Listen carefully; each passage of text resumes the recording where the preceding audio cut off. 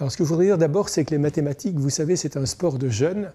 Et euh, il vaudrait infiniment mieux, à mon avis, que vous interrogiez des gens qui sont au tout début de leur carrière, parce qu'ils vont vous raconter leurs rêves, ce qu'ils vont faire. Moi, je vais vous raconter ce que j'ai fait, euh, ce que, enfin, ce que j'ai voulu faire en tout cas, ce qui, pas de, euh, n'allait pas de soi. Je voulais aussi dire que je suis, en quelque sorte, malgré mon âge, un enfant d'Orsay. Hein, j'ai été très heureux dans ce département et tout ce que j'ai fait, en quelque sorte, n'aurait sans doute pas été possible ailleurs. Donc euh, je suis au départ un probabiliste. J'ai fait ma thèse au départ sur ce qui s'appelle des problèmes variationnels, problèmes variationnels. Plus exactement, j'ai travaillé sur du calcul des variations stochastiques. Alors, le calcul des variations stochastiques, stochastique d'abord. Le mot stochastique, c'est le mot hasard. Ça veut dire qu'il y a des équations qui sont en fait perturbées par des éléments de hasard. Et euh, donc, c'est typiquement des équations euh, x point. Je vais l'écrire sous la forme la plus simple possible, peut-être. x point égale f de u euh, plus w point. Je prends le cas le plus simple. x point égale f de u plus w point. Alors, w, ça représente une excitation aléatoire excitation aléatoire. Et ici, f est la fonction d'un certain contrôle. f de u, u est un contrôle. Et ce qu'on cherche à faire, c'est en quelque sorte à rendre extrémale une fonctionnelle du type L de x et de u dt. Donc ça, c'est une fonctionnelle que je vais appeler i de u et donc ce qu'on cherche à faire, euh, c'est à rendre extrémale cette fonctionnelle. Alors, je le dis comme ça de manière très résumée, en fait, il y a toute une tradition, il y a toute une tradition euh, de résolution de problèmes de ce type, dans lequel, dans lequel il n'y a pas de hasard, dans lequel le W point n'existe pas. Et euh, donc, c'est des problèmes liés à la mécanique classique, Hein, des problèmes liés à la mécanique classique. On peut dire que toute la mécanique classique euh, s'occupe de traiter des questions comme ça, de formuler des, principes variationnels. Et donc ce sur quoi j'avais travaillé, euh, c'était l'extension de ces principes variationnels euh, au cas d'équations perturbées par le hasard. Et disons, la première chose que j'ai faite, en quelque sorte, c'était d'arriver à la formulation d'équation de Hamilton stochastique.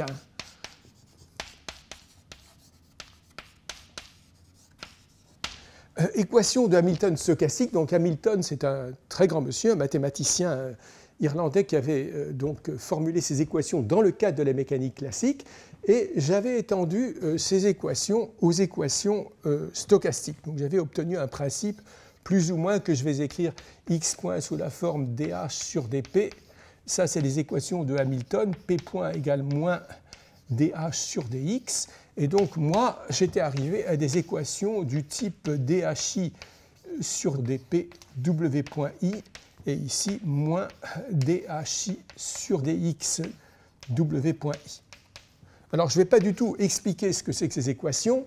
Euh, simplement, c'était un problème particulier que j'avais traité essentiellement quand j'avais entre 23 et 25 ans, ou 26 ans, euh, je me suis éloigné de ces équations après, pendant très longtemps, et euh, en quelque sorte, c'est les hasards de la vie, et les hasards de la vie mathématique, dans lesquels en fait vous trouvez vous-même le jouet du hasard que vous prétendez décrire, que ces équations ont ressurgi dans un cadre, dans un contexte absolument différent, que j'expliquerai plus tard. Alors, j'ai aussi été au départ de ma vie euh, influencé par un mathématicien qui s'appelle Paul euh, Maliavin, dont je n'étais pas euh, l'étudiant au départ, mais qui avait travaillé sur des problèmes variationnels, disons avec un point de vue différent. Il s'était intéressé, lui, à des problèmes en particulier d'intégration, intégration par partie sur des espaces, sur des espaces de dimension infinie. de dimension infinie. Alors, c'est des questions, euh, donc tout étudiant, euh, même disons en première ou deuxième année d'Orsay, ou peut-être même avant, sait ce que c'est que l'intégration par partie, c'est la, la, forme la plus élémentaire, disons, un, peu sophistiquée du calcul d'intégrale, et l'intégration par partie en dimension infinie, tout le point est la dimension infinie ici, donc en particulier sur des espaces de trajectoire sur des espaces de trajectoire qui sont exactement en fait l'espace de trajectoire aléatoire, qui sont un petit peu les mêmes que celles dont j'ai parlé tout à l'heure. Et Maliavin avait obtenu des résultats euh, tout à fait euh, impressionnants et fondamentaux sur ces questions euh, d'intégration par partie et qu'il avait appliqué à des problèmes qui n'étaient pas du tout des problèmes au départ qui m'intéressaient, mais j'ai trouvé en quelque sorte, à partir de ce point de départ, qui étaient ces questions de problèmes variationnels, de calcul des variations stochastiques, une communication directe avec, avec Maliavin. Et donc, euh, pendant un certain temps, j'ai travaillé autour de ces deux questions. Et puis, en fait, euh, je dirais que dans ma vie mathématique, mais je dirais même dans ma vie tout court, ma vie a en quelque sorte changé euh, sous l'influence d'un mathématicien qui vient de, de, décéder, qui est un très grand mathématicien anglais qui s'appelle Michael Attia, euh, qui a été professeur à Oxford, puis à Cambridge, puis à Édimbourg. Et euh, pourquoi est-ce que ma vie a changé à ce moment-là euh, C'est parce que, en quelque sorte, il avait expliqué, dans le, dans le cadre d'une conférence qu'il avait donnée en l'honneur de Laurent Schwartz, conférence en l'honneur de Laurent Schwartz, qui avait été d'ailleurs mon professeur à l'école polytechnique, il avait donné un exposé dans lequel il expliquait un lien euh, en quelque sorte conjectural, un lien formel entre, d'une part, l'intégration sur des espaces de dimension infinie, plus exactement sur des espaces de trajectoire, et d'autre part un lien en quelque sorte formel entre cette théorie-là, qui était une théorie que je connaissais, et la théorie de l'indice, de l'indice, qui est une théorie complètement différente, qui se développe dans un cadre euh, différent. Euh, et il avait expliqué qu'il y avait un lien formel entre ces deux théories. Alors moi, je connaissais les deux, je m'étais déjà intéressé au théorème de l'indice, euh, parce qu'il y avait, disons, dans le formalisme même de la théorie de l'indice, il y a des choses qui, effectivement, euh, sont naturellement liées aux espaces de trajectoire, n'est-ce pas? Sont liées. Donc il y a un lien, un, lien, disons, entre guillemets, entre la théorie de l'indice et ces questions d'intégration sur les espaces de trajectoire. Mais ce que faisait Attia dans son exposé, c'était en quelque sorte aller beaucoup plus loin. C'est-à-dire qu'au lieu que ce lien soit de nature analytique, le lien d'analyse, en quelque sorte, était remplacé par un lien d'algèbre. Donc, euh, l'algèbre et l'analyse sont des branches des mathématiques et Attia lui-même a décrit cette coexistence de l'algèbre et de l'analyse comme étant pour euh, l'analyste ou le géomètre de vendre son âme au diable. Lorsqu'on commence à faire de l'algèbre, on vend son âme au diable. Parce que, alors pourquoi le diable? Parce qu'effectivement, ce diable-là a des capacités de prédiction sur les résultats qui, même sans être nécessairement justifiés, permet d'anticiper précisément des liens de cette nature. Alors j'ai été totalement stupéfié par cela, à la fois stupéfié, indigné et perturbé.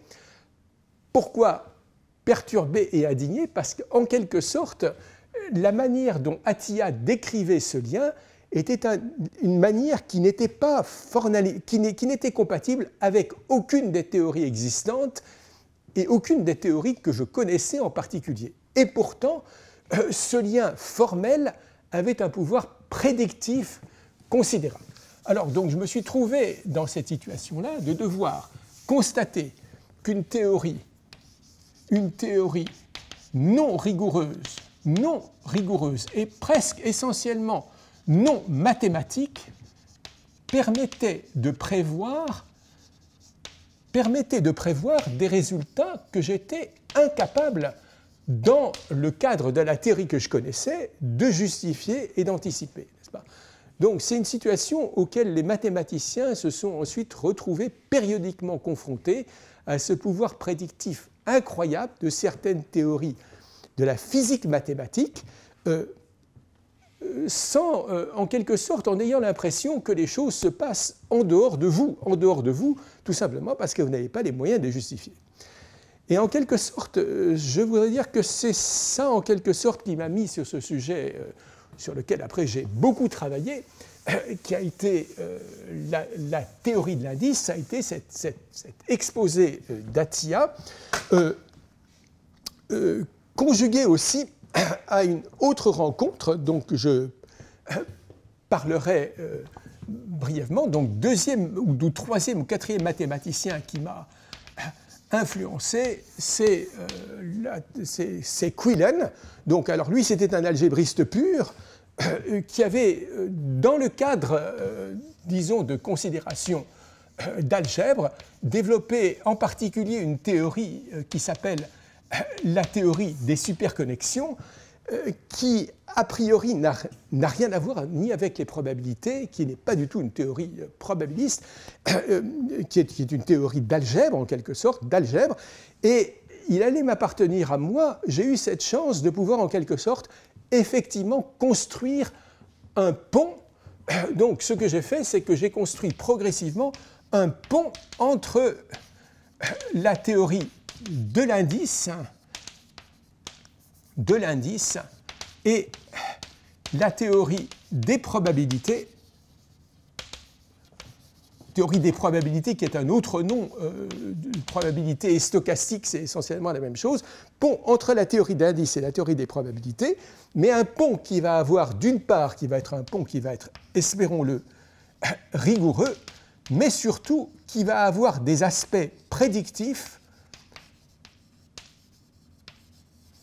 pour les deux théories, pour les deux, des deux côtés en quelque sorte. Pour les deux théories. Donc, je vous explique comme ça peut-être des catalogues de résultats, mais euh, en quelque sorte, la chose qui les lie, c'est la démarche, n'est-ce pas? Donc, comme j'ai dit, euh, la vie est elle-même une succession de, de hasards, et la vie mathématique l'est aussi. Et donc, moi, je ne savais pas très très bien où j'allais euh, quand j'ai fait tout ça, mais donc, ce que j'ai fait en particulier, donc c'est l'une des choses que j'ai faites, ça a été euh, de démontrer, démontrer une version locale du théorème dit de l'indice des familles, du théorème de l'indice et du théorème de l'indice des familles. Alors, je ne vais pas expliquer ici ce que c'est que le théorème de l'indice des familles, mais je dirais simplement que c'est un théorème d'abord qui n'a a priori rien à voir avec les, considérations probabilistes, n'est-ce pas? Donc c'est un théorème qui se formule dans le cadre de la, de la catégorie, de la catégorie d'Atia, catégorie d'Atia et aussi catégorie d'Atia et de la théorie et théorie des opérateurs, théorie des opérateurs elliptiques.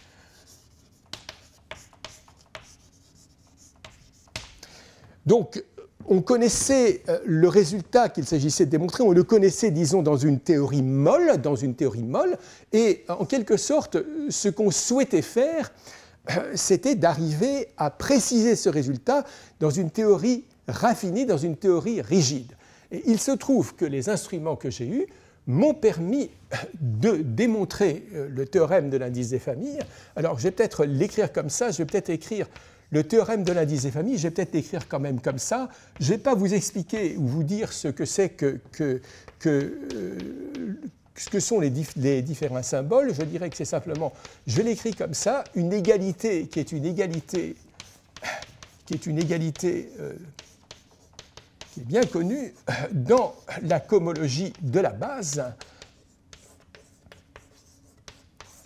Alors ce théorème-là, ce théorème-là, c'est un, théorème qui est très fondamental parce qu'il est à la fois euh, lié au théorème dit de Riemann-Rohr-Grothendieck. Donc Grothendieck, vous avez sûrement déjà entendu parler, euh, constamment ici, n'est-ce pas, théorème de Riemann-Roch-Grothendieck et théorème d'Atiyah-Singer. Alors, la forme sous laquelle j'ai démontré ce théorème a été euh, de remplacer euh, les, classes de cohomologie par, disons, euh, essayer d'écrire une égalité dans ce qui s'appelle le complexe de Ram, donc remplacer les classes de cohomologie par des formes, et ça oblige à utiliser des objets qui sont beaucoup plus rigides. Alors, qu'est-ce que les probabilités vont avoir avec ça, n'est-ce pas? Donc ça, c'était déjà, je m'étais déjà vraiment, en quelque sorte, éloigné euh, de mes bases strictes. J'étais déjà loin de mes bases strictes, mais tout en utilisant quand même l'instrument probabiliste. Euh, c'est essentiellement de dire que lorsqu'on a une égalité de deux objets comme ça, il est souvent, lorsqu'on a un objet A et qu'on veut démontrer que A égale B, il est souvent utile d'écrire A sous la forme intégrale sur un espace oméga d'une certaine quantité C, n'est-ce pas? Et ensuite, pour réussir à démontrer que a égale B, eh bien, ce qu'on fait, c'est qu'on déforme C. On déforme C avec une famille paramétrée euh, de, fonctions. On démontre que l'intégrale ne change pas. Et puis, on arrive à démontrer que ceci, quand T converge convenablement, par exemple, vers 0, converge vers B.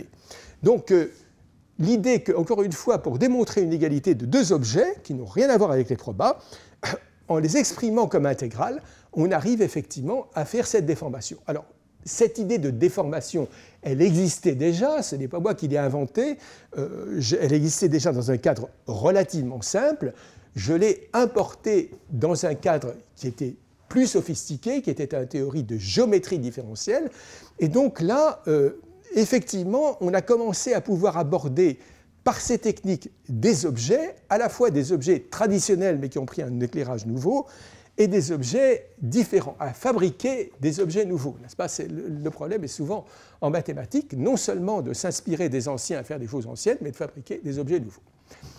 Et dans ce contexte-là, ça a été en quelque sorte, alors peut-être la troisième étape de ma vie, ça a été euh, de rencontrer euh, la théorie, euh, théorie des déterminants, théorie des déterminants alors, de la cohomologie. Alors là, on n'est plus du tout, on n'est plus du tout en théorie des probabilités, formellement, ce qui fait que mes anciens collègues probabilistes ont estimé que j'avais cessé de faire des probabilités, alors que personnellement, j'estime que je n'ai pas fait autre chose que d'en faire, mais dans un contexte qui était différent et avec la possibilité de recevoir des intuitions différentes de cette théorie. Alors là encore une fois, il y a plusieurs personnes qui sont associées à ça dans ce parcours pour moi. Il y a d'une part euh, Christophe Soulet et Henri Gillet, que je traite ici comme, un, comme une unité euh, en quelque sorte indissoluble. Christophe Soulet qui est un Français et Henri Gillet qui est un qui est un Anglais installé aux États-Unis d'un côté, et puis, euh, j'allais dire aussi, euh, Jean-Benoît Bost, qui était ici aussi à Orsay, euh, enfin plutôt qui sera à Orsay plus tard, et d'un côté, et puis Gilles Lebeau, qui a aussi été à Orsay et qui est maintenant à Nice. Alors là, c'était un problème d'une autre dimension, n'est-ce pas? C'était un problème d'une autre dimension parce qu'en termes du temps passé, euh, du temps passé pour réussir à résoudre ou à construire les différentes étapes de la théorie en question, euh, la théorie en question était au départ une théorie développée par, euh, par Soulet et Gillet, dans laquelle je me suis intégré en quelque sorte à un certain moment. Là, ces unités-là commencent à se compter en termes d'années, voire de 5 ans, voire de 10 ans. Hein, donc c'est des ampleurs de programmes qui sont tout à fait autres. Du point de vue de la, tension euh, personnelle et intellectuelle euh, euh, liée à la réalisation de ce programme, a été alors une, autre expérience, mais d'une autre dimension, au sens où j'ai rencontré quelque chose que je ne connaissais pas, c'est-à-dire la nécessité de travailler pratiquement, pratiquement en continu, en, en état de situation de tension, et sur des programmes, au fond, sur lesquels nous ne savions pas euh, s'il y avait la moindre chance qu'on arriverait à réaliser ce qu'on voulait faire, n'est-ce pas? Donc c'est ce programme que j'ai que j'ai à la fois suivi d'un côté, puisque je travaillais sur une théorie qui n'était pas la mienne, mais en même temps, alors c'est une chose paradoxale, c'est que bien que ce ne soit pas du tout le genre d'objet auquel j'étais accoutumé, je n'étais pas du tout un algébriste, j'étais pas du tout un algébriste, mais il semblait que sur un certain nombre de questions, la clé de la serrure qu'il s'agissait d'ouvrir, c'est moi qui l'ai fait. Donc vous avez une porte avec une serrure, vous ne savez pas où donne cette porte, et vous trouvez que, en quelque sorte, vous avez une meilleure compréhension de certains aspects de cette serrure euh, que les gens qui cherchent à défoncer la porte, n'est-ce pas? Et donc c'est exactement cette alliance, en quelque sorte, euh, j'allais dire, entre des personnes qui sont vraiment là, totalement différentes, qui ont des points de vue totalement différents sur les mathématiques, qui n'ont pas du tout la même expérience, pas du tout eu la même vie, et que la vie mathématique contraint à se parler. Et ça, je dois dire, ça a été une expérience extraordinaire pour moi. Je pense que pour mes collaborateurs euh, Soulet et Gilet, qui, venaient vraiment d'un horizon différent, c'était aussi une expérience étrange parce qu'ils se trouvaient à travailler avec quelqu'un euh, qui, au fond, semblait avoir une, une, compréhension de certaines choses différente de la leur, venant d'un autre monde, et cet autre monde-là, c'était exactement le monde des probabilités. Donc moi, j'avais toujours mon fil à la patte, j'étais probabiliste, j'intégrais sur des espaces de trajectoire, eux étaient des algébristes purs, et en quelque sorte, nous avons pu commencer à travailler ensemble sans même vraiment, moi je ne comprenais pas ce dont ils parlaient, eux ne comprenaient certainement pas ce dont je leur parlais, mais nous avons commencé à travailler ensemble. Et ça, euh, je dois dire qu'être à Orsay pour ça, bien que euh, Soulet était à l'IHES, Gillet était à Chicago, mais ça a été, moi je n'ai pu faire ça essentiellement que parce que j'étais ici, parce qu'il y avait dans ce département à la fois une atmosphère, un climat et des gens d'une connaissance des maths tellement vaste et tellement profonde, et puis j'allais dire aussi des gens qui étaient vraiment sur le plan personnel fantastiques, et donc j'ai pu faire ça. J'ai pu faire ça, euh, donc euh, je vous dis, ce à quoi on est arrivé, c'est un article avec, euh, avec Gilles Lebeau, hein, Gilles Lebeau, alors qu'il était un analyste pur, lui qui était un analyste, donc qui était en quelque sorte plus proche de moi du point de vue, euh, disons, pouvait se parler beaucoup plus directement, mais qui en même temps avait une connaissance de l'analyse que je n'avais absolument pas. Et donc cette coopération multiple, où je me trouvais, moi, à travailler d'un côté avec les algébristes, Gillet et Soulet sur leur programme, avec le beau sur la réalisation effective de ce programme, mais sans savoir vraiment où nous allions, parce que la clé de cette histoire-là, comment est-ce que la serrure allait être craquée, euh, finalement, je suis arrivé à formuler un programme, un programme, pour moi, un programme de preuve générale. Ce programme, euh, je dirais, avait plusieurs étapes, à plusieurs étapes. Et je dirais que j'avais 200 pages de programme. 200 pages de programme, alors 200 pages de programme, ça peut paraître délirant comme ça. Euh, ça n'était pas délirant parce que, étant parti de l'idée que j'allais résoudre ces problèmes par des méthodes liées à l'intégration sur ces espaces de dimension infinie, qui étaient des choses que je connaissais et inspirées par ce qu'avait raconté Atia, le programme était simplement la réalisation d'un certain nombre d'étapes de nature conjecturale, non démontrées, et il s'agissait de réaliser ces étapes les unes après les autres. Alors ça, c'est un autre aspect des mathématiques qu'il est difficile de comprendre pour celui qui n'est pas mathématicien, c'est que effectivement, en quelque sorte, l'intuition peut permettre d'anticiper des choses qui éventuellement seront vraies, alors qu'on ne sait pas du tout qu'elles vont être vraies simplement par la compréhension profonde d'un certain nombre de mécanismes. Alors effectivement, le mathématicien construit des images, des images mentales de la réalité qui ne sont pas nécessairement rigoureuses, qui ne sont pas nécessairement justifiables en tant que telles, mais qui permettent effectivement, en quelque sorte, de dire ben, si je vais aller de là à là, il faut que je construise un pont, et j'espère que ce pont va être construit comme ça. Et il y a une part de pari. Hein. Donc euh, la part de pari, euh, là, en quelque sorte, j'ai souffert. Hein. j'ai souffert parce que devant aller d'un point A à un autre point avec différentes étapes, dont certaines ont été réalisées avec gilet soulé, et dont l'étape, j'allais dire, la, la, plus difficile a été réalisée avec le beau, je me suis trouvé en quelque sorte, même sur le plan personnel euh, à ne plus avoir de moyens de dormir, n'est-ce pas, de pas pouvoir, euh, euh, de pouvoir se dire, mais est-ce que je vais tenir, pas seulement, pas seulement, est-ce que je vais tenir physiquement, est-ce que je vais résister à cette histoire? Et donc, en plus, en plus, alors je, veux, je vous donne comme ça l'impression d'une souffrance, c'est pas ça, c'est une excitation extrême, parce que lorsque vous vous trouvez avoir la chance d'être sur ce type de problème-là, effectivement, une quantité d'autres choses se sont greffées sur ça, et donc, d'une manière pour me détendre, je passais de ces problèmes-là à d'autres problèmes avec qui je travaillais avec des collaborateurs tout à fait, euh, euh, qui étaient des gens tout à fait extraordinaires. Hein. J'ai eu la chance d'avoir ces collaborations avec quand même des, euh, des, gens de qualité humaine et personnelle considérable, mais ça voulait dire que je travaillais euh, soir et matin. Je commençais le matin avec les questions sur les problèmes avec euh, le beau, je continuais l'après-midi avec les choses avec Chiger, je, je continuais le soir avec, avec les problèmes avec Lot, qui étaient tous des problèmes différents et liés. Moi, j'avais, euh, dans ces problèmes-là, j'avais ce que je savais faire, il y avait des choses que je ne savais pas faire, il y avait ce que je savais faire, et il se trouve qu'effectivement, devoir travailler sur toutes ces questions à la fois, en même temps, pour reprendre un, disons, un slogan bien connu, a été une chose passablement épuisante. Donc, je vais vous raconter une histoire parce que celle-là, elle est vraiment, euh, pour moi, elle a été une expérience incroyable.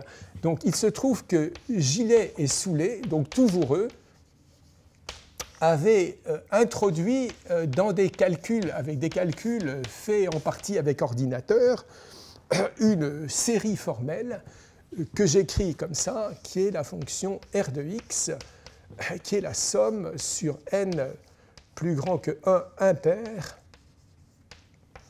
de la somme de 1 à n, je m'en souviens encore, vous voyez, de 1 sur j plus 2 euh, zeta prime de moins n sur zeta de moins n, zeta de moins n, x puissance n sur factoriel n. Donc c'est une fonction d'une variable. Euh, c'est une série formelle, donc la question de la convergence de la série ne s'oppose pas. Et la fonction zeta, c'est la fonction zeta de Riemann.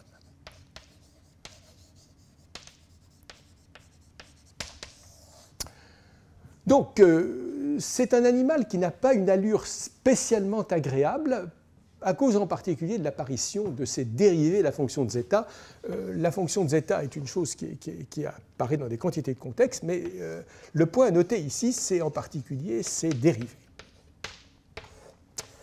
Et donc, ils avaient obtenu cette série-là par ordinateur, et euh, dans le programme que j'avais avec Gilles Lebeau, ou que j'avais préparé en quelque sorte pour qu'il soit réalisé avec Gilles Lebeau, il fallait en quelque sorte que cet animal-là, n'est-ce pas, sorte non pas d'un calcul avec ordinateur, euh, non pas d'un calcul avec Zagier, qui est un calculateur par ailleurs exceptionnel, mais qu'il sorte en quelque sorte de la théorie pure, qu'il arrive par la pensée pure, comment fabriquer à partir de rien cet objet.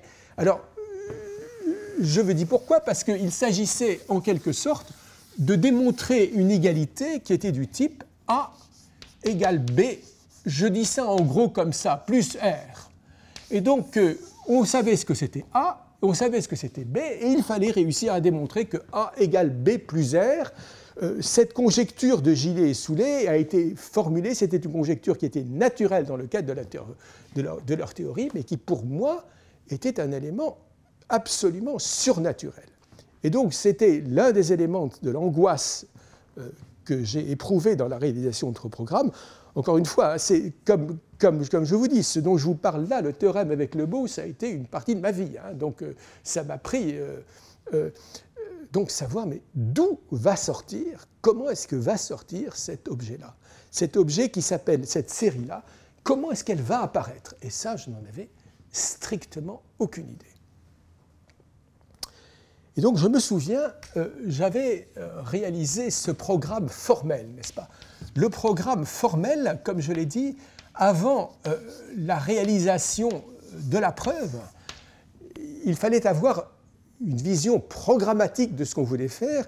Programme parce que, encore une fois, quand vous cherchez à relier des objets entre eux qui sont de nature essentiellement différente, le passage des uns aux autres est un passage qui ne peut se faire que de manière en quelque sorte à la fois complexe, mais avec une vue qui doit être absolument claire sur ce qu'on veut faire. Et dans ce programme formel, qui était formulé dans un cadre différent, n'est-ce pas Qui était formulé dans un cadre différent, cadre différent, mais toujours faisant intervenir cette intégrale sur des espaces de trajectoire. Toujours la même histoire n'est-ce pas Toujours les espaces de trajectoire dont je suis parti au début, le problème était maintenant reformulé comme un problème géométrique, non pas un problème d'analyse, mais un problème géométrique sur des espaces de trajectoire, mais encore une fois de manière formelle. Et donc, euh, je suis arrivé finalement à la contribution au calcul formel, la contribution d'un terme exotique dans cette théorie euh, formelle d'un terme exotique qui se présentait aussi sous la forme d'une série avec K appartient à N, de termes compliqués, enfin de termes compliqués, pas très compliqués d'ailleurs, euh, de, termes relativement simples. Voyons, on passe de la complication à la simplicité, c'est peut-être juste une question de point de vue. Euh, avec donc euh, cette fonction-là était une fonction qui finalement dépendait de x, me donnait une fonction que je vais noter r de x, qui n'est pas le r de x là-bas. Euh, ce calcul-là m'a pris euh, peut-être 3-4 mois de, réflexion euh, incessante, n'est-ce pas Et donc, j'en étais arrivé au point de dire, même simplement au niveau programmatique, si ce terme que je construis comme ça par la pensée pure n'a rien à voir avec le terme anticipé par Gély et Soulet, je renonce. C'est-à-dire que j'arrête le programme. Euh, c'était une décision euh, dont je n'étais pas maître. Hein. J'étais vraiment euh, extrêmement épuisé.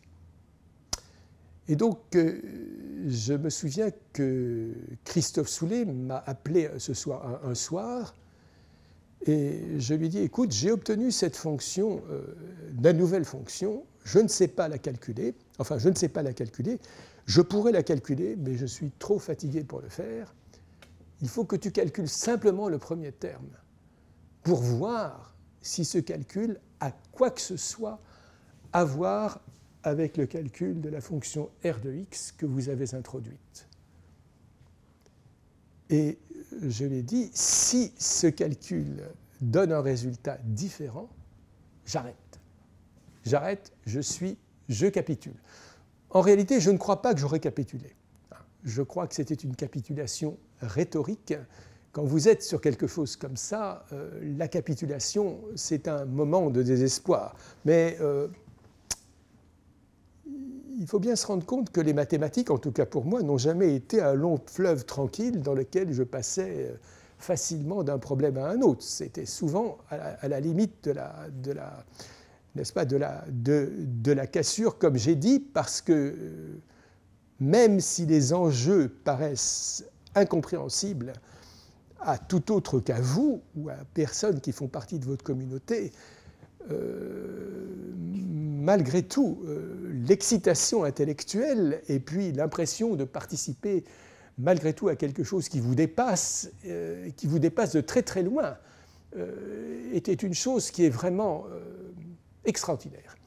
Et Christophe Soulet, qui par beaucoup d'aspects était aussi très fragile aussi, très, préoccupé par le succès de tout ça.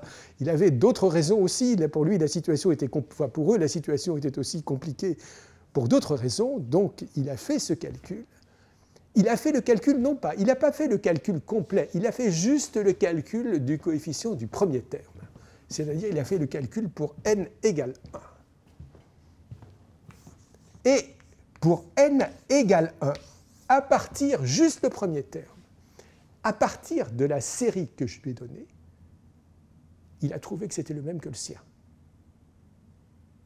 Écoutez, pour comprendre ça, l'impression que nous avons ressentie tous les deux, il faut imaginer peut-être des sapeurs ou des gens qui font des tunnels, n'est-ce pas, et qui creusent, qui creusent des deux côtés. Ils sont à des kilomètres de distance, ils sont à des kilomètres de distance, et là, en quelque sorte, nous avions le contact est fait.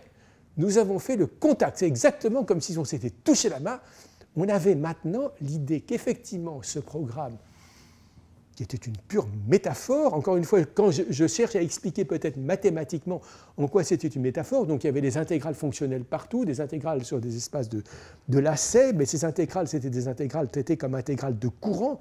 Ce n'était même pas des formes, c'était plutôt des courants, et finalement il s'agissait de trouver à la fin de démontrer que l'égalité cherchée allait résulter d'une dégénérescence convenable de ces courants. Et j'arrivais dans ce calcul formel, dans ce programme formel qui n'était pas encore la preuve, au calcul de cette série formelle, le contact, le fait, le fait que le premier terme soit le même, ça m'a en quelque sorte permis de rebondir.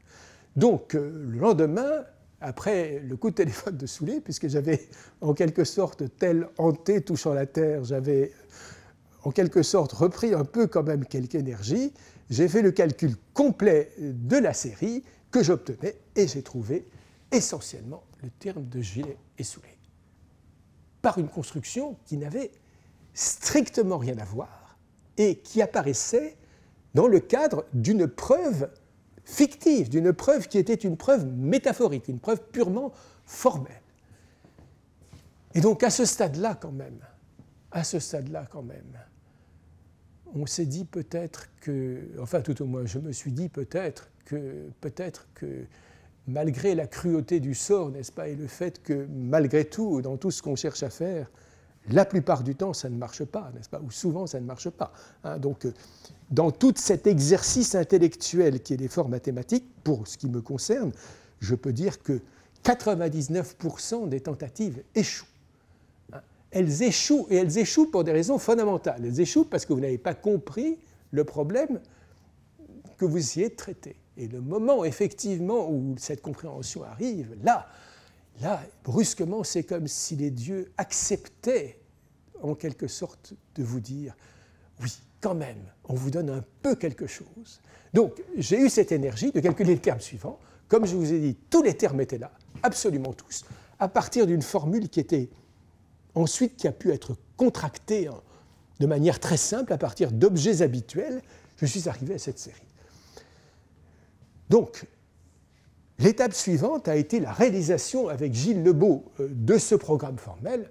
Et là, ça a été, euh, ça a été aussi pour moi une expérience extraordinaire parce que d'abord, j'ai collaboré avec un, avec un mathématicien qui était, exceptionnel, de courage, de persévérance, de, précision aussi, hein, de manière à faire que, encore une fois, il y avait des choses que je ne savais pas faire, des passages d'analyse fine je savais que ça devait marcher, en quelque sorte. Je savais les différentes étapes, mais je ne savais pas comment le réaliser. Et donc nous sommes mis à deux. Hein. on n'était pas non plus, on n'est pas des foudres de guerre du point de vue physique, on n'est pas des colosses. Euh, alors que peut-être, effectivement, on aurait besoin d'avoir des gens qui sont des, des, trucs. Et donc on a réussi à faire marcher ça. Et ça, en quelque sorte, ça a quand même été pour moi une étape, euh, une étape, une étape importante parce que c'était un vrai résultat en quelque sorte. Euh, les choses que j'avais faites auparavant étaient des choses qui étaient, euh, qui, étaient, qui étaient bien, mais euh, qui ne mettaient pas en jeu toute une variété de, une variété d'objets, de techniques, des objets venant de la géométrie algébrique, venant de l'analyse, venant des probabilités, et réussir à mettre tout ça ensemble.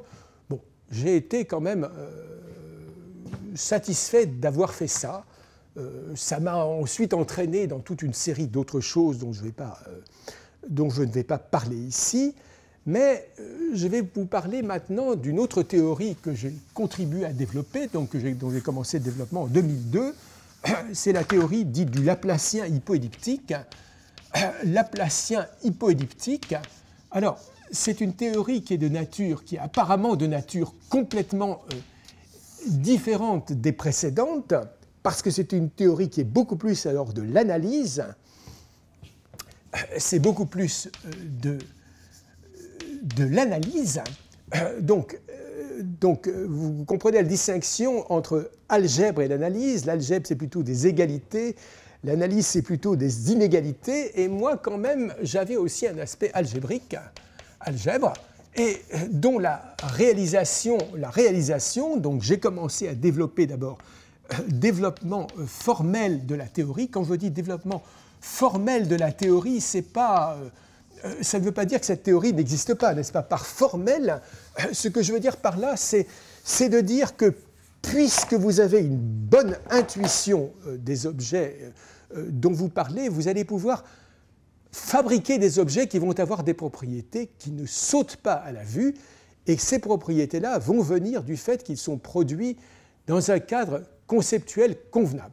Donc euh, j'avais trouvé donc développement formel toujours lien avec la théorie des, des, probabilités.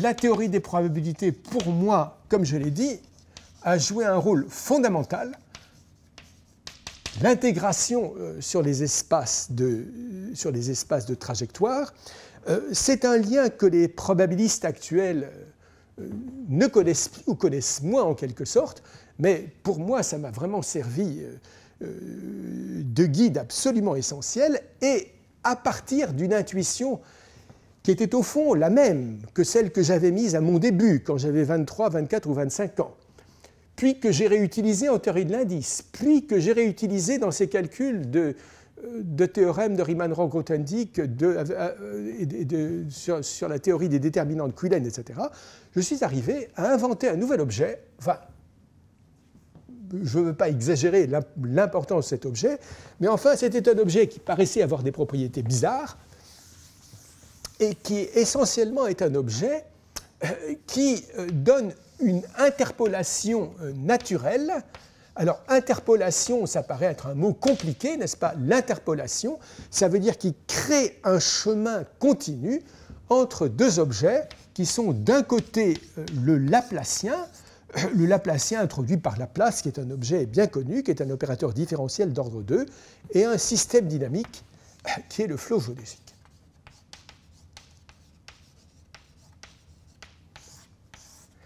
Alors cette interpolation, n'est-ce pas Encore une fois, dans l'interpolation, d'abord une chose étrange. L'interpolation se fait d'habitude entre des objets de même nature. On interpole entre des objets qui sont dans la même catégorie. Là, il s'agit d'interpoler entre un opérateur et un système dynamique par une interpolation qui soit naturelle. Euh, c'est un peu comme dire qu'on va trouver une, déformation continue entre une girafe et un éléphant. C'est à peu près l'analogue dire qu'il y a une interpolation comme ça. Donc c'est pour ça que cette interpolation était en quelque sorte étrange. Interpolation étrange.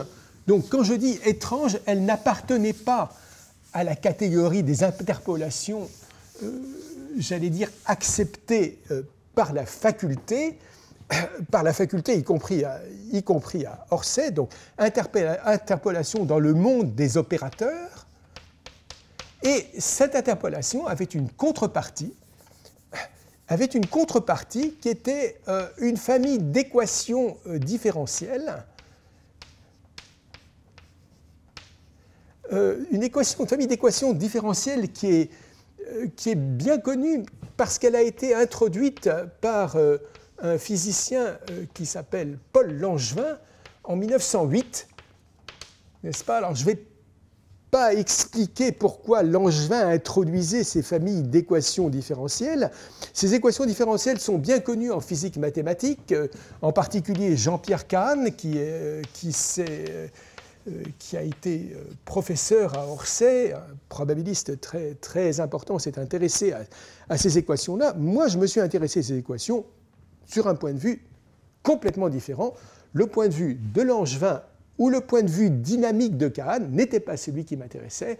Moi, c'était un point de vue en réalité beaucoup plus algébrique, euh, dans lequel toujours ces questions d'intégration sur les espaces de la C allaient jouer un rôle plus autre chose, alors qui était vraiment surprenante, autre surprise, c'est en quelque sorte l'éternel retour, pour moi, l'éternel retour, qui est le nom d'un film bien connu d'éternel retour, qui est le fait que euh, ce type d'équation-là était des équations, n'est-ce pas, était dans la famille d'équations que j'avais regardées quand j'étais tout jeune, d'équations hamiltoniennes stochastiques. Alors ça, c'est absolument frappant, une expérience aussi stochastique de se voir à 30 ans de distance réécrire les mêmes objets pour, de manière totalement différente, mais lorsqu'on dans une première phase, je n'avais pas compris ce qu'ils étaient, là j'ai commencé brusquement à comprendre ce qu'ils pouvaient être. Donc il y avait la question du développement euh, de cette, de cette théorie du Laplacien hypoelliptique. Euh, cette théorie, je l'ai en quelque sorte, à un certain moment, mon euh, partenaire fantastique a été Gilles Lebeau, puisqu'il y avait dans le développement de cette théorie, et y compris dans le résultat que nous essayons de démontrer, qui était un résultat intellectuellement assez proche de ce que j'avais fait déjà avec le beau, n'est-ce pas? Donc nous avons euh, travaillé sur cette théorie euh, du Laplacien hypolyptique de manière à effectivement la réaliser, à ce qu'elle donne une partie de ses promesses euh, dans un livre donc, qui nous a pris aussi beaucoup de travail. Je crois que c'était relativement moins tendu que dans la première partie euh, de mon travail avec le Beau, dans cette partie sur les déterminants de Quillen, mais nous sommes aussi arrivés en quelque sorte euh, au résultat que nous souhaitions, et la théorie a donné une partie de ses promesses, elle ne les a pour l'instant pas complètement données, encore qu'il y ait peut-être, je crois à mon avis, un certain espoir, un certain espoir dans cette direction. Donc, euh, pour vous raconter les prémices de cette théorie, je me souviens, c'était au mois d'août, je ne sais plus de quelle année, peut-être 2002 ou 2003. Il avait fait très chaud, c'était une chaleur intenable à Orsay, euh, c'était une chaleur intenable partout d'ailleurs. 2003, peut-être 2003. Euh, j'étais ici en juillet, il y avait presque une odeur d'incendie. Hein, les, feuilles, les feuilles étaient tombées, il y avait par terre des feuilles sèches absolument partout. On sentait une odeur de feu et les pompiers passaient régulièrement euh, dans le campus euh, pour vérifier s'il n'y avait pas des incendies spontanés euh, de, de ces feuilles. Donc c'était pour dire, nous étions dans l'ancien bâtiment, n'est-ce pas, dont j'ai assez peu parlé. Cet ancien bâtiment, j'ai une tendresse pour lui extraordinaire. Il était très inconfortable. Il n'était pas du tout ce bâtiment que maintenant mes, jeunes collègues ont la chance d'avoir, mais quand même, mais quand même, j'y ai bien travaillé, et surtout, il y avait des gens qui étaient extraordinaires dedans. Donc, euh, euh, dans ce climat d'extrême chaleur, n'est-ce pas, ce n'était pas si facile de travailler. Et donc, euh, j'ai été voir un de mes collègues pour lui expliquer les débuts de cette théorie. Et les débuts de cette théorie, en fait, consistaient à faire une chose qui était, en quelque sorte, inacceptable. donc, de faire quelque chose d'inacceptable pour expliquer la déformation. Donc, en quelque sorte, l'explication, n'est-ce pas, l'explication formelle, hein, donc cette idée, encore une fois, l'explication formelle, le fait euh, euh, que, cette théorie devait pouvoir fonctionner, je lui ai donné l'explication formelle, et comme je vous ai expliqué, les explications formelles ne sont souvent pas les vraies explications. Les vraies explications sont des arguments rigoureux, c'est-à-dire dans lesquels effectivement on démontre quelque chose à quelqu'un, on lui donne la preuve que c'est vrai. L'explication formelle ne consiste pas à démontrer que c'est vrai, elle consiste à expliquer pourquoi telle chose doit être vraie euh, par des arguments presque de nature philosophique, si vous voulez. Au fond, euh, je crois que dans cette démarche-là, chaque mathématicien a sa manière d'accepter des explications formelles. Nous avons tous ce que nous considérons comme évident pour l'un n'est absolument pas trivial pour l'autre. Et mon ami et collègue que j'ai été voir en cette fin juillet, euh, en cette fin juillet, dans cette chaleur intolérable, m'a dit ça ne pourra jamais marcher. Ça ne marcherait jamais, ça n'a aucun sens. Alors, j'aurais pu être désespéré, si vous voulez, naturellement. J'aurais été plus jeune, quelqu'un m'aurait dit ce que tu racontes comme ça, ce sur quoi tu travailles depuis des mois et des mois, n'a aucun sens, ça ne pourra jamais marcher. Euh, ça a été le contraire. Parce que ce qu'il m'a dit, et ça sans aucune ironie, ça voulait dire la chose suivante, c'est que si ça marchait, alors, alors effectivement, ça serait vraiment quelque chose de nouveau. Parce que c'était de son point de vue tellement incroyable qu'un truc comme ça ait le moindre sens. Donc c'est pour ça que j'ai eu en quelque sorte l'espoir et la force de continuer à développer ça. Si vous voulez, vous êtes toujours en quelque sorte là le sapeur tout seul, n'est-ce pas? Le sapeur camembert, mais le sapeur camembert en train de creuser son truc tout seul. Hein, en train de faire son truc tout seul et entouré de gens qui peuvent vous dire que ça n'a aucune chance, que tout ça est insensé, n'a aucune chance, que ça ne marchera jamais, que c'est interdit euh, par toutes les choses qui sont enseignées en Orsay, qu'on sait très bien que des choses comme ça ne peuvent pas exister. Et moi, bon, j'ai peut-être l'esprit de contradiction. D'une certaine manière, avoir l'esprit de contradiction, c'est-à-dire être stimulé par le désaccord, euh, c'est un point de vue particulier, euh, ça peut être une faiblesse, Hein, c'est peut-être une faiblesse, c'est-à-dire au fond prendre tellement plaisir à contredire l'autre que finalement euh, la contradiction devient un objet en soi. Donc pour moi, ce n'était pas seulement ça, j'avais l'esprit de contradiction, mais aussi celui de persévérance. Et puis donc j'ai construit cette théorie qui pour l'instant est encore en état, euh, en état elle, est encore en, elle est encore en développement. Et donc avec Gilles Lebeau, euh, nous avons démontré ce résultat euh, que nous voulions démontrer en quelque sorte, qui était un analogue de ce que nous avions fait euh, dans le cas des métriques de Quillen. Comme j'ai dit, il reste à pousser ce résultat à fond.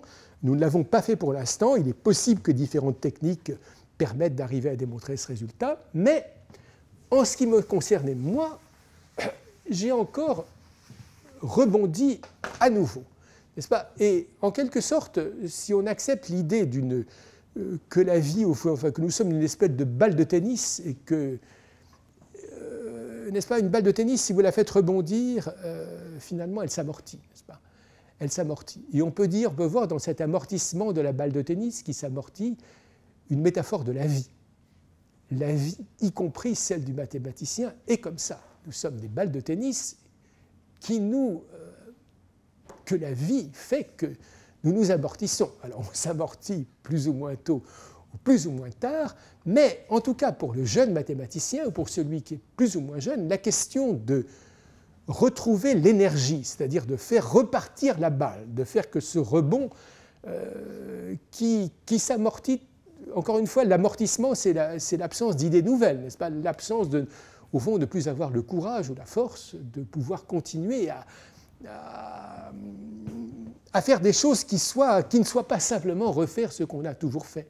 N'est-ce pas? Ce qui est le risque majeur de toute vie, euh, c'est de faire toujours ce qu'on a toujours fait. Et pour un scientifique, je crois aussi, c'est un euh, c'est un risque majeur. Pour le, j'imagine pour l'interprète, pour le musicien, le risque est de constamment jouer la même chose, de constamment jouer les mêmes, morceaux qu'il a su, euh, sans découvrir de répertoire nouveau. donc j'ai encore là pu rebondir euh, dans une direction qui apparaissait différente, euh, qui était la question de la formule des traces. Alors, la formule des traces, c'est un sujet, alors là, pour le coup, euh, qui est un sujet sur lequel il y a une littérature vraiment, vraiment considérable, qui est, un sujet mathématique très important, dans lequel, en particulier à Orsay, des gens ont travaillé. Euh, je veux parler en particulier de, tous ceux qui ont été mes amis, euh, Laurent Clausel, Gérard Lomont, etc.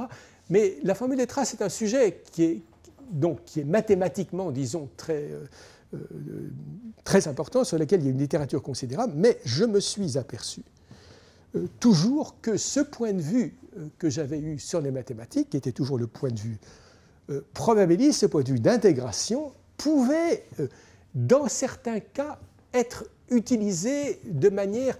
Donc, euh, c'est, j'allais dire, je vais écrire le résultat, c'est, euh, j'allais dire que le résultat final, finalement, euh, le résultat, c'est l'évaluation de certaines intégrales orbitales, intégrales orbitales semi-simples,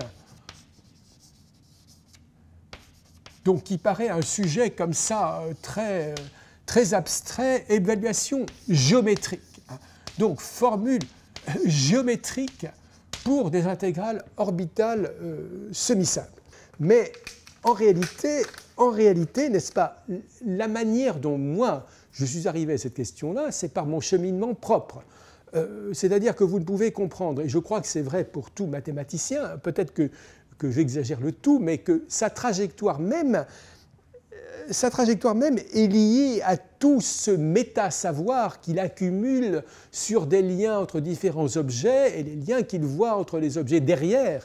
En quelque sorte, cette idée de vision, de voir derrière, n'est-ce pas, de voir, euh, non pas de ne pas rester à l'apparence des choses, et qui fait que euh, finalement, euh, des objets qui paraissent comme ça et de nature extrêmement différente peuvent être unifiés ou liés par une pseudo-théorie qui n'existera peut-être pas comme telle, mais qui au fond explique à la certaines de leurs propriétés et surtout le fait que ma petite personne en l'occurrence pouvait les aborder avec un point de vue qui était, euh, qui était légèrement différent. Alors comme je l'ai dit, l'intuition de départ était toujours l'intuition, j'allais dire d'abord probabiliste, c'est-à-dire que euh, il y a une façon euh,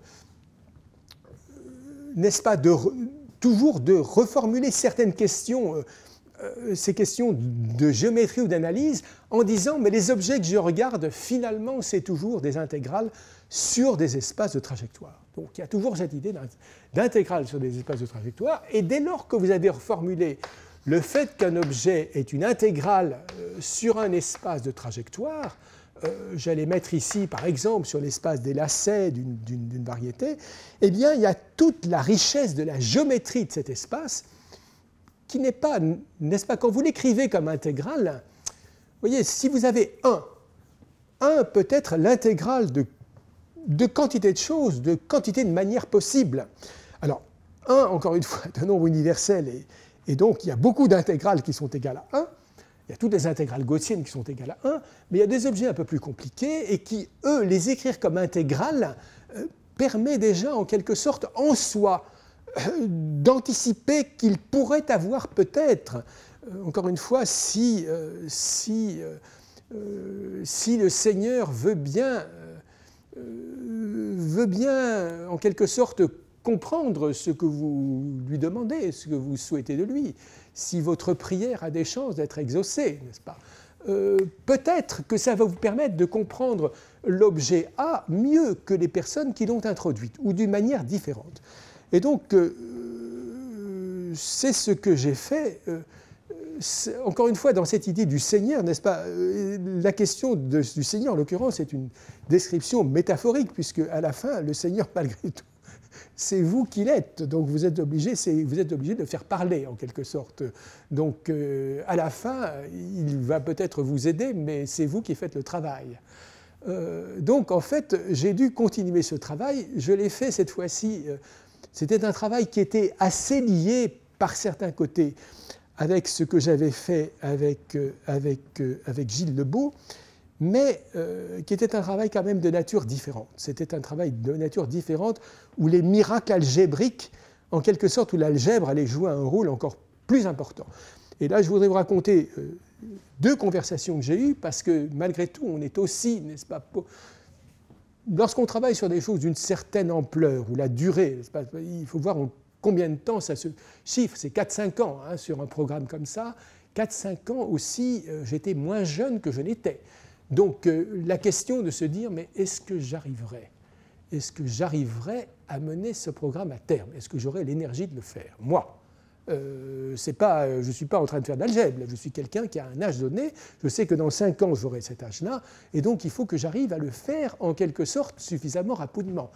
Je n'ai pas l'éternité devant moi. Donc euh, ça c'est vrai pour quel que soit qui vit, on n'a pas l'éternité devant soi. Et pour un scientifique, et surtout dans une discipline comme celle-là, qui est, encore une fois, à son maximum, peut-être très, très euh, épuisante, n'est-ce pas? Épuisante par, euh, euh, simplement à la fois par l'angoisse, par l'échec, comme je vous ai dit, on échoue 99% du temps, on passe son temps à ne pas réussir à faire ce qu'on voulait faire, et donc il faut réussir à passer. Donc euh, c'est un peu, j'imagine que les gens qui montent l'Everest ou les gens qui essayent de faire des choses comme ça, qui, les, navigateurs qui veulent passer ont le même, euh, ont le même sentiment, la tempête, etc. C'est peut-être bien pire parce que leur vie, leur vie littéralement en jeu, mais c'est peut-être pas si différent quand même. Et donc là, dans ce nouveau programme, j'étais à la fois lié à, Paul Maliavin, à qui, donc, à qui j'en ai souvent parlé, et qui lui, au fond, n'est-ce pas, avait à la fois de la, de la, sympathie pour ce programme, parce que c'était, il était d'une certaine manière dans le prolongement de ce qu'il avait voulu faire, mais tout en n'y croyant pas vraiment, parce que il y avait quelque chose qui le dérangeait dans ce que je lui racontais. Et donc, j'ai quand même, comme il était un interlocuteur privilégié, puisque dans le cadre de cette théorie-là, lui avait commencé à travailler sur ces affaires bien longtemps avant moi, donc il avait une capacité de compréhension euh, de ce que je voulais faire. Vous voyez, pour réussir à trouver quelqu'un qui puisse même comprendre ce que vous voulez faire et comprendre. Il ne s'agit pas de comprendre une étape, c'est pas de comprendre, c'est comprendre l'arc, n'est-ce pas, de comprendre le dessin, le truc total. Donc j'avais besoin de temps en temps d'aller lui parler. Et donc il m'est arrivé, euh, il était plus âgé que moi, bien plus âgé que moi, et nous allions dans un bureau, n'est-ce pas, euh, l'IHP, euh, trois heures, quatre heures de, description programmatique, encore une fois, et il, c'était extraordinaire ces conversations-là, parce que quand même, euh, vous avez besoin de ça pour, même pour fortifier vos, arguments, pour vous convaincre que ça va marcher. Puis il y avait certaines parties quand même des choses que je savais, faire. Donc j'ai parlé avec, avec, avec Maliavin et aussi avec Gilles Lebeau avec Gilles Lebeau qui, ne voulait plus, il voulait toujours parler de collaboration avec moi. Je crois qu'il savait que si on collaborait, d'abord il aurait beaucoup de travail à faire, énormément, et puis que ça durerait très très longtemps. Donc il ne voulait plus travailler sur ça, mais quand même, il acceptait d'écouter ce que je lui racontais. Et ça, je me souviens que lui m'a dit, écoute Jean-Michel, si ton truc passe, si ça marche, si ça passe, alors là, tu pourras t'arrêter de travailler tu pourras t'arrêter complètement. Après, tu n'auras plus rien à faire. Alors, évidemment, j'ai pris ça pour ce que c'était, c'est-à-dire une plaisanterie. C'était une plaisanterie, mais pas seulement. Euh, ça voulait dire que, effectivement, pour lui, qui venait d'un horizon différent du mien, c'était une chose importante d'avoir, voyez, que, encore une fois, que quelqu'un vous tende une main secourable, d'avoir un secours quelconque, que quelqu'un vous tende la main dans ce moment-là. C'est très difficile à comprendre ça. Le fait qu'on a besoin, n'est-ce pas, on a besoin des autres. Y compris en maths, on a absolument besoin des autres parce qu'on n'est pas dans cette conversation entre soi et soi. N'est-ce pas? Je vous parle depuis déjà je ne sais pas combien de temps, et c'est moi qui me parle à moi-même. Je me raconte à moi-même cette histoire. Euh, je ne suis pas sûr que cette histoire soit complètement compréhensible par un extérieur. Mais le fait que Gilles, à ce moment-là, ait pu d'abord m'écouter plusieurs fois et me dire écoute ton truc là quand même, si ça marche, tu auras fait quelque chose, euh, c'était très important. Et je veux dire que c'était presque plus important que le succès final. Mais euh, après euh, la réalisation, n'est-ce pas La réalisation, encore une fois, je vous ai donné les éléments programmatiques, c'est-à-dire dire cette chose-là doit marcher parce que l'image mentale que j'en ai construite, c'est celle-là. Et l'image mentale, c'est sans analyse, c'est de l'algèbre pure, c'est des choses comme ça. Ça doit marcher parce que ça doit marcher, parce que le monde est bien fait. Donc cette croyance que le monde est bien fait, n'est-ce pas? Effectivement, cette le fait que croire que le monde est bien fait dans le monde d'aujourd'hui, euh, c'est peut-être une croyance, peut-être euh, qu'on a du mal à avoir, en tout cas je vois, mais euh, chez les plus jeunes, la conviction que le monde soit bien fait, ils ne l'ont pas nécessairement. Mais pour le mathématicien, je pense pour le scientifique, la croyance qu'au fond, il y a de la lumière quelque part, n'est-ce pas Et que de la caverne, et que du fond de la caverne, finalement, la lumière surgira. Vous n'êtes plus auprès du soleil, vous n'êtes pas en train de, de regarder les ombres et de croire que ces ombres sont la réalité, vous êtes allé au fond, au fond de la caverne dans lequel, effectivement, euh, il y a des chances qu'à la fin, vous ayez une compréhension euh, profonde, beaucoup plus profonde. Donc, euh, malgré tout, à un certain point, il ne suffit pas d'espérer, n'est-ce pas? Il faut réaliser. Et cette réalisation, c'est toujours cette histoire, mais je me retrouve à dire, j'ai supposé dans cette trajectoire idéale que ça c'est vrai, mais en fait c'est pas vrai.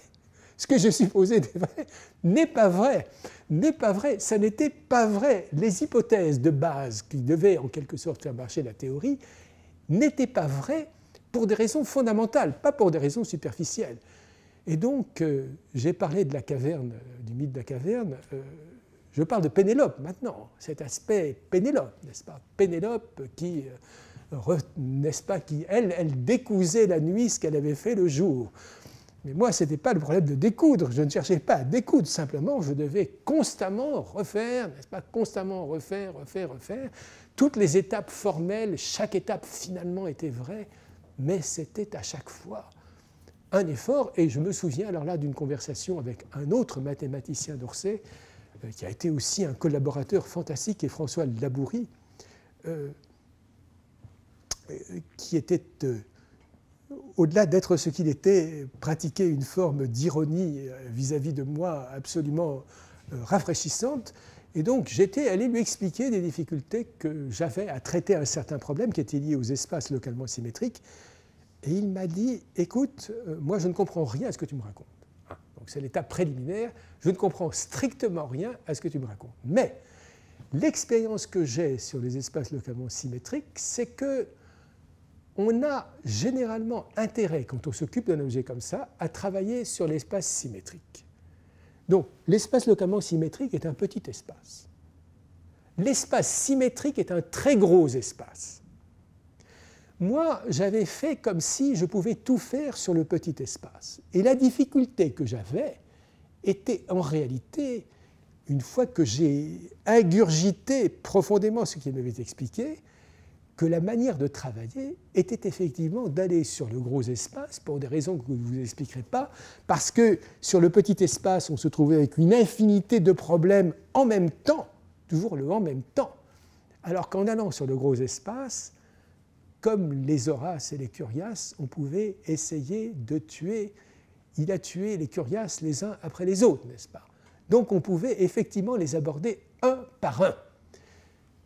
La difficulté, c'est que travaillant sur un espace qui était beaucoup plus gros, tous les arguments d'analyse que je croyais avoir et qui marchaient pour ce petit espace ne marchaient plus sur le gros. Et donc, effectivement, tel Pénélope, mais Pénélope forcé par les circonstances, j'ai dû tout recommencer. Et tout recommencer avec des arguments, cette fois-ci, qui allaient m'obliger à comprendre profondément la géométrie de ces espaces, de ces gros espaces, cette géométrie, je la connaissais plus ou moins, j'ai dû euh, l'absorber jusqu'à pour effectivement reconstruire. Et là, effectivement, les choses ont marché les unes après les autres, avec à chaque fois quand même des difficultés qui étaient, euh, qui étaient non prévues, euh, et avec aussi l'angoisse finalement, puisque je rentrais dans un sujet, comme je vous ai dit, qui était labouré, un sujet qui était labouré, de se dire, mais est-ce que la formule que je démontre, est-ce qu'elle est vraie? Est-ce que ce que je raconte à la fin, après des centaines de pages de calcul où j'obtiens une formule, est-ce que c'est vrai? Est-ce qu'il n'y a pas un contre-exemple? Vous voyez, vous pouvez pas, c'est pas possible de démontrer une chose dans laquelle le premier venu, travaillant sur un cas particulier, va vous dire, mais ce que vous avez dit est faux. C'est évidemment faux, je l'applique.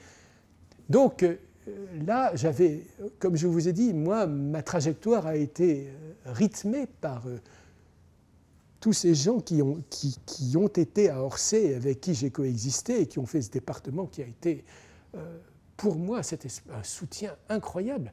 Donc, j'ai pu aller voir Laurent Clausel, qui connaissait ces questions parfaitement, au moins les résultats, et qui est d'ailleurs qui était d'un scepticisme total vis à -vis de ce que je voulais faire nous avons pris le RER régulièrement ensemble et tous les soirs, je lui racontais dans le RER entre Orsay et Paris ce que j'avais fait dans la journée, ce que je voulais faire. Et il me disait, mais ton truc, ça ne peut pas marcher. Ça ne peut m'expliquer par des arguments a priori. Lui avait ses arguments a priori, comme moi j'avais les miens. Et nous étions en quelque sorte dans des mondes différents. Donc finalement, évidemment, j'ai réussi d'abord à le convaincre que ce que je voulais faire pouvait marcher. Et puis lorsqu'il y a eu la formule que j'ai eue, donc je lui ai demandé de la vérifier. De la vérifier. Donc la vérification, là, si vous voulez, c'est soumettre au test de dire je ne peux pas sortir quelque chose dans ce domaine-là en, courant le risque de me ridiculiser, n'est-ce pas? Parce que le risque de se ridiculiser, il existe. Il existe, n'est-ce pas, de se, ridiculiser avec ses pairs, avec ses amis, mais aussi avec les autres. Donc, en quelque sorte, après avoir cherché à démolir le programme, ce qui est la bonne attitude, n'est-ce pas? La bonne attitude, ce n'est pas une attitude de démolition perverse, qui peut aussi exister. y compris chez les mathématiciens. C'est une attitude de démolition positive qui est de dire attention, garde-toi à droite, garde-toi à gauche. Tu crois que ça c'est vrai, mais il y a des erreurs qui ont été faites, des quantités, le nombre d'erreurs qui ont pu être faites, et donc de vous garder. Et donc là aussi, finalement, donc, euh, il, a, il, a lu ce, il a lu, il n'a pas lu le texte entier, mais enfin il a regardé pour les formules, et finalement il m'a dit, il n'y a pas de problème, je pense que la formule est vraie. Moi aussi, je l'avais vérifié, j'avais pris des quantités de cas particuliers où la formule était connue, j'avais aussi vérifié, moi j'avais vérifié des compatibilités, elle était compatible avec plein de choses, donc là finalement j'ai pu sortir, j'ai pu sortir cette formule. Donc c'est un long texte aussi, hein, donc euh, là que j'ai achevé quand même un peu, un peu dans la douleur avec cette angoisse du temps, parce que de se dire euh, je peux pas, euh, il faut que il faut que j'arrive à terminer ça euh, avant une certaine date, parce que je ne suis pas sûr d'avoir euh, à la fois l'énergie intellectuelle, la capacité physique, l'énergie nerveuse de tenir. Et puis, il y a un dernier aspect de ma vie mathématique que je voudrais aussi vous raconter, c'est que quand vous êtes mathématicien, vous avez aussi une femme, des enfants, et vous deviez aussi vivre en quelque sorte dans le vrai monde, n'est-ce pas, dans cette vraie vie. Et dans cette vraie vie qui est en fait effectivement la vie. Et euh, la vie que vous menez comme scientifique, c'est une vie parallèle, euh, c'est une vie parallèle qui est épuisante pour vous, mais qui peut devenir intolérable pour ceux avec lesquels vous vivez. Tout simplement parce que lorsque mes enfants me demandaient euh, à ce que je leur raconte une histoire, ou que je devais leur raconter une histoire, je leur racontais aussi une histoire n'est-ce pas? Je sortais avec eux, j'essayais de faire des choses avec eux, donc on faisait des choses, on allait au cinéma, etc. Comment réconcilier tout ça? Comment faire que tout ça tienne? Hein? Donc euh, effectivement, c'est un sport qui n'est pas, euh, qui n'est pas facile d'être à la fois immergé dans ce monde parallèle. Est-ce que je dirais qu'il est implacable? Par certains côtés, je dirais qu'il est implacable, c'est-à-dire que vous n'êtes pas l'erreur ne vous est pas permise vraiment. Euh, l'erreur n'est pas permise. Et puis, en même temps, il est très excitant parce que quand même, vous faites des choses que les autres n'ont pas réussi à faire. Et puis, en même temps, vivre cette vie réelle qui est aussi la vraie vie. Et, donc, vous devez... Euh, donc, à un certain moment, dans ma vie, à un certain moment, il y a un certain moment où j'ai craqué. Et donc là, ce qui a craqué chez moi, c'est pas, j'ai pas craqué, j'ai craqué physiquement. Hein. Donc physiquement, à un certain moment, c'est ma, ma mon organisme, c'est pas ma tête, c'est pas tout ça, c'est l'ensemble, l'effondrement. Hein. Donc euh, l'effondrement, ça n'a pas été un effondrement dramatique, j'en m'en suis sorti, mais en quelque sorte, une partie du travail que je vous ai raconté, euh, je l'ai fait aussi en, quelque sorte en étant pas bien avec pas bien physiquement, pas bien moi-même, en étant en situation de dire est-ce que là je vais y arriver? Euh, je ne vois plus, je vois plus clair, là, je suis complètement en train de... Bon, ce que j'avais n'était pas grave, c'était des choses minimes, des choses minimes. Mais c'est pour dire que l'ébranlement que peut produire euh, la vie scientifique, il existe. C'est une vie, à mon avis, je ne la donnerai pour aucune autre, mais en quelque sorte, euh, elle a un prix. Elle a un prix. Alors il faut surtout s'attacher à ce que ce ne soit pas les autres qui la payent pour vous. Hein. Donc, parce que ça, c'est trop facile. Si vous ne pouvez pas prendre un engagement vis-à-vis de quelqu'un, vis-à-vis euh, de votre épouse, vis-à-vis de vos enfants, etc., et puis dire non, ça c'est pire que tout. J'allais dire c'est pire que tout. C'est la malhonnêteté la pire, c'est bien pire que de faire un théorème faux. Hein. Voilà. Oui, donc euh, je voulais juste vous dire un mot de la, musique. Pour moi, je ne vais pas du tout dire euh, ce que disent les mathématiciens, ce qu'on dit toujours, les liens entre les mathématiques et la musique. Euh, bon, il y a des portes ouvertes là qui existent, qui sont par certains côtés d'un intérêt, d'un intérêt fantastique, mais euh, c'est pas de ça dont je voulais vous parler. Moi, j'ai fait du piano quand j'étais enfant, j'en ai fait modestement, je suis arrivé, je n'étais pas spécialement doué pour ça. Mais euh, quand j'ai eu, euh, vers l'âge de 32, 33 ou 34 ans, etc., le hasard a fait que j'ai commencé à faire du chant. Euh, à faire du chant, donc en fait, avec un, professeur à Paris, j'avais assisté à ses cours, c'était une, dame tout à fait incroyable qui s'appelait Noémie Perugia, qui avait été une grande chanteuse, qui avait connu Forêt, qui avait fait... Donc elle avait un cours de chant qui était une une chose invraisemblable, parce que c'était une personnalité extrêmement forte, avec une connaissance de la, du chant, de la musique incroyable, une personnalité dominatrice par ailleurs, donc s'engageant avec ses élèves avec une, brutalité et une violence qui étaient tout à fait inhabituelles pour un mathématicien. Et donc finalement, euh, je me suis trouvé piégé parce qu'elle a vu que je venais aux leçons et elle m'a dit, vous, qu'est-ce que vous allez m'apporter la semaine prochaine? Et donc je me suis trouvé à prendre des leçons de chant. Euh, en fait, ma sœur avait plus ou moins programmé ça avec elle et je commençais à faire du chant. Alors, la raison pour laquelle j'en parle euh, en liaison avec les mathématiques, c'est que faire du chant à un certain niveau, ça veut dire travailler vraiment une partition. Euh, travailler les mots, travailler le sens de la musique, travailler euh, les intonations, travailler la langue, la prononciation, etc.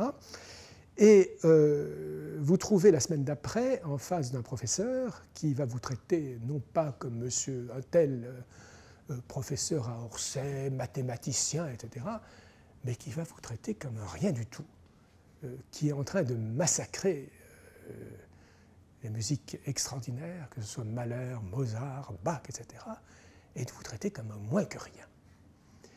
Et je n'acceptais pas complètement d'être traité comme moins que rien. Ce n'était pas ma fierté qui était engagée. Je ne disais pas non, moi, monsieur, non, pas du tout, ou moi, madame. C'était pas ça. C'était le fait que quand même qu'on se retrouve avec un lied de Mozart, de Schubert, quel qu'il soit, ou même de Mahler, on est confronté là à quelque chose et on veut quand même effectivement, d'une certaine manière, arriver, pas paraître complètement idiot lorsqu'on arrive à la leçon suivante. Et donc je me suis trouvé prenant le RERB, n'est-ce pas, pour aller à Orsay. RERB d'ailleurs, il était encore possible de lire dans le RERB. Euh, j'ai lu une bonne partie de la comédie humaine, peut-être complètement dans le RERB, qui n'était pas si plein, qui était encore un moyen de transport tolérable à ce moment-là. Et donc, euh, au lieu de lire la comédie humaine, que je fais par ailleurs, euh, j'ai commencé, me suis aperçu que quand je venais à Orsay, euh, ce n'était pas aux mathématiques que je pensais, je ne pensais pas aux métriques de Coulet, etc., mais je pensais à, aux mots, disons, à tel lit de Mozart ou, de, ou, de, Schubert, n'est-ce pas Essayer de comprendre la prononciation, la musique, l'intonation. J'ai la partition devant moi, pop, pop, pop.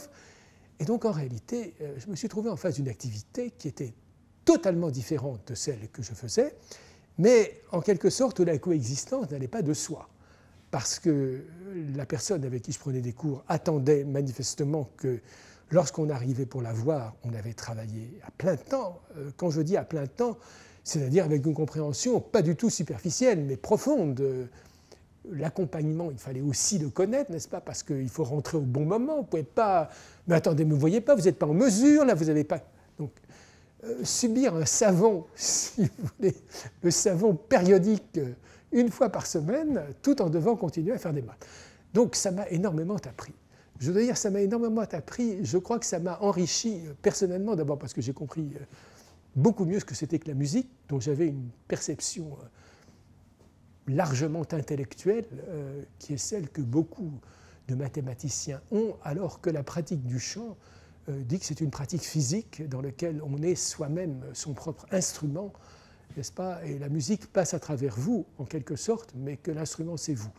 Et euh, c'est une chose qui m'a énormément apporté. Euh, comme j'ai dit, à un certain moment, j'ai décidé d'arrêter parce que je n'arrivais plus, n'est-ce pas J'arrivais pas avec tout, avec tout ce que j'avais comme programme, essayant aussi de lire. De, j'ai arrêté le chant à un certain moment, mais ce que j'ai appris sur le plan simplement euh, du savoir, euh, comme type de connaissance que cette personne avait, euh, à la fois de la musique et de la vie, n'est-ce pas, que quelqu'un qui avait 80 ans, 83 ans, elle, cachait son âge, puisse vous expliquer,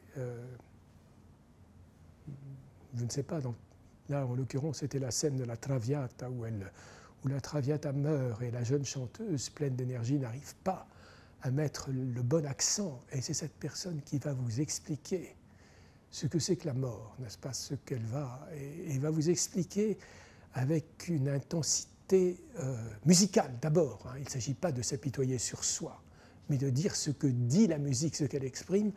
Ça m'a appris quelque chose. D'une certaine manière, ça m'a redonné ou donné un certain sens de l'humilité, de la véritable humilité, l'humilité en face de la musique, en face de Bach, de Mozart, de Mahler, de tous ces musiciens, qui sont quand même des choses vraiment incroyables, même, même, même sur le plan formel, et qui sont en quelque sorte peut-être, d'une certaine manière, peut-être un modèle de ce que, qui reste un modèle de peut-être de ce que nous voulons faire nous aussi. Euh, évidemment, la mathématique, c'est Michael Gromov qui m'avait dit ça, c'est la musique, les mathématiques, c'est la musique dans lesquelles il n'y a pas de notes, où il y a des notes, il n'y a que la partition, et il n'y a pas de musique qui sort.